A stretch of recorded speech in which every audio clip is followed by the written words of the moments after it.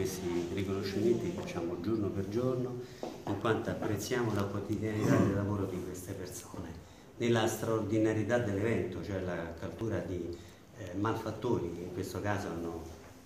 effettuato veramente con eh, esecrabile azione un reato verso una donna anziana abbiamo voluto segnalare come in questo caso l'arma dei carabinieri è presente costantemente e porta risultati in termini paragonabili allo zero, cioè due giorni per arrestare coloro che hanno commesso questo grave delitto.